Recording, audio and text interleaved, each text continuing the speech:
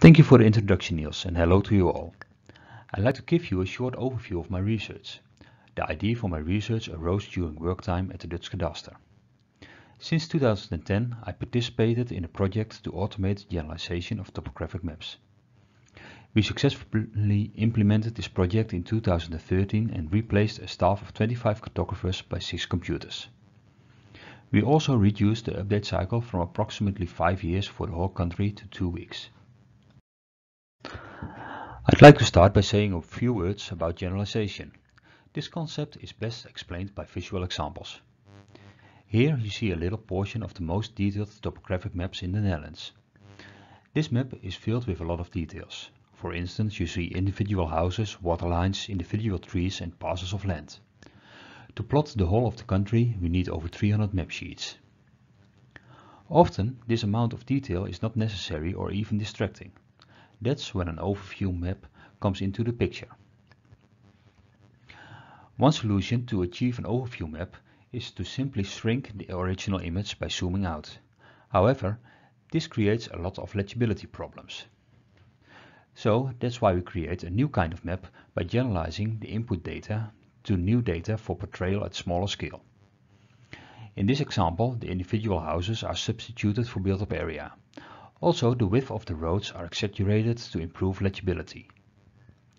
Generalization uses operators like simplification, selection, exaggeration, typification and others to create a meaningful map at a smaller scale. So in the Kadaster process we introduced the concept of automatic generalization. Although we achieved decent results, there were still some issues. One of the issues was the thinning of the Dutch water network. This slide shows the source data of waterlines. No pruning was executed here. Please pay attention at the areas indicated by the circles as these indicate the kind of problems I try to solve in my research project. This slide shows the results of the thinning in the process as implemented by Kadaster. You see a lot of features disappearing, which is good. However, there are two main problems. The first problem is that the resemblance of the structure has been lost during the process. The second problem is the algorithms do not account for the density in water networks.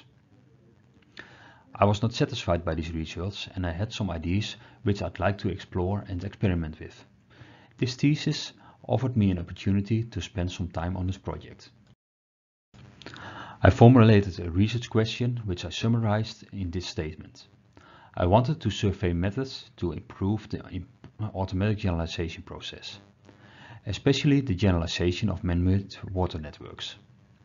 The Netherlands is a very cultivated country and we do not have much naturally formed water networks, apart from the area of Limburg down south. That is also the reason why existing water thinning algorithms were not applicable as they are targeting on natural uh, hydrography with stream order and such.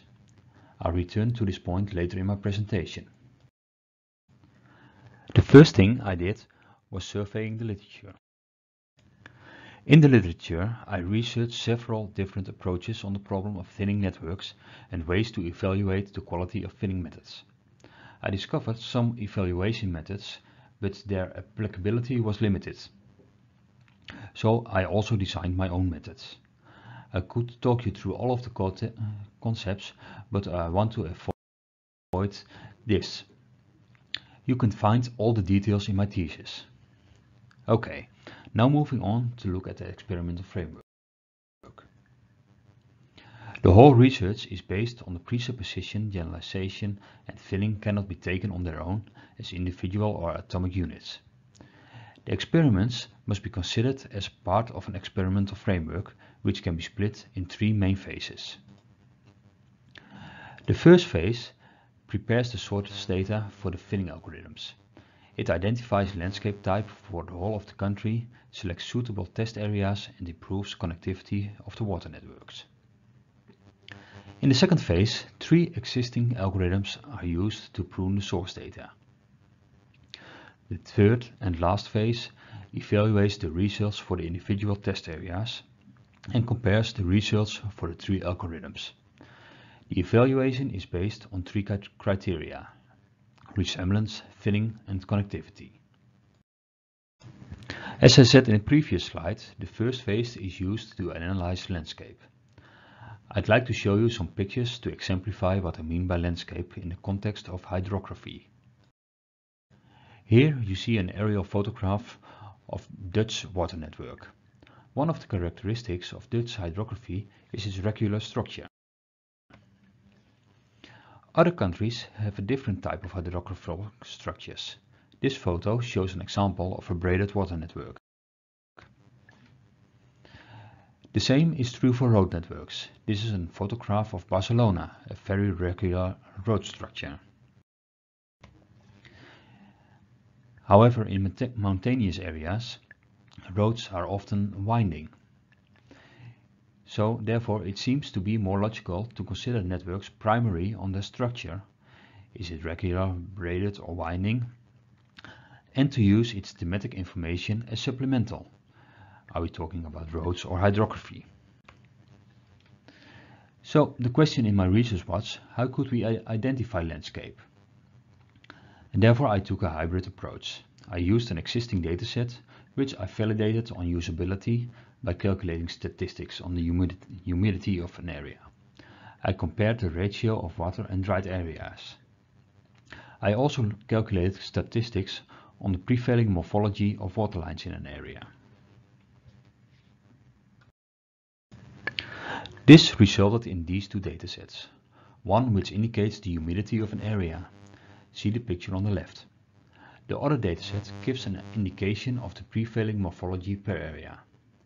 Based on these experiments, I concluded the existing dataset contains enough diversity for identifying landscape typology. Having established landscape typology for all of the Netherlands, I was able to select the smallest partitions which are completely contained by only one landscape type. These test areas I have used for all my testing. A second important step in the preparation phase was geometric improvement of the network. In a network, connectedness of features is the most important characteristic. But what features are we talking about? This slide shows a conceptual visualization of a network. At first glance, everything seems to be connected. Water areas, water lines and roads. This is easy to perceive for the human eye. I've coined this kind of network a perceptual network. However, when you only focus on the water lines, a lot of gaps appear in the data. These are caused because water polygons and roads are taken out of the data. Instead of one closed network, four unconnected networks appear to exist. The human eye sees a different network than a computer is able to identify, and this is a problem for thinning algorithms. To overcome these problems, I improved the network in three steps.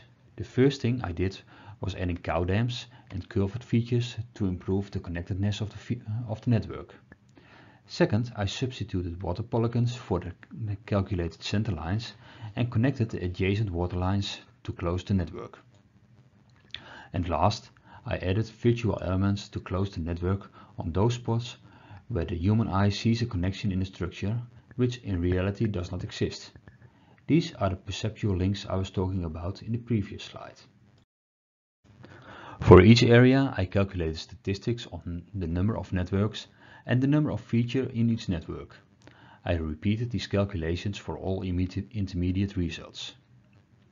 I found that for each test area the total number of network reduced, the number of features per network increased as did the average number of features per network.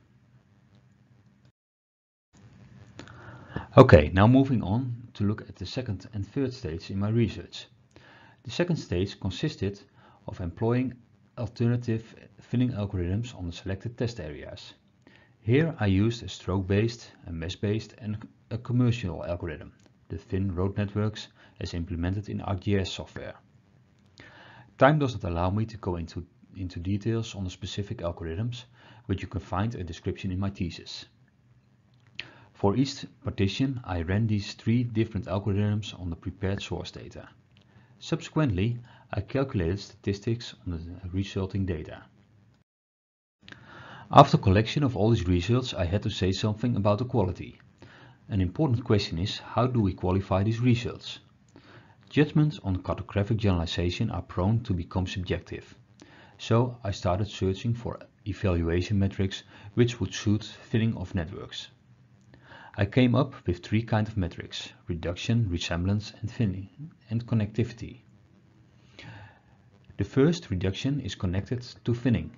A proper thinning algorithm should reduce the amount of features. The second, resemblance, is connected to the concept a thinned network should show resemblance with the original source data. Here I use the concept of feature morphology and equated the source and resulting features. Based on the deviation I scored the alternative thinning algorithms. The third and last metric, connectivity, is connected to the concept of networks. Resulting features must maintain connections, otherwise we cannot speak of a network anymore. So I calculated the statistics for each test area and each of the algorithms. It was remarkable to see the individual test partitions all showed the same trends on the three metrics. My two research questions were answered by all these experiments. In answering the first question, the value of landscape typology showed of less importance than the activities on network improvement. It also showed which thinning algorithms were suitable for network thinning and which were not. The second question was somewhat difficult. It appeared existing evaluation methods have limited application possibilities due to requirements on benchmark data or network structures. Therefore, three new evaluation metrics on reduction, resemblance and connectivity were designed and evaluated in coherence in a multi-criteria analysis. All these metrics were of equal importance. The results of this multi-criteria analysis indicated a clear hierarchy for the performance of algorithms. So that brings me to the end of my talk. Thank you very much for listening. You can find the full text of my thesis by following this link.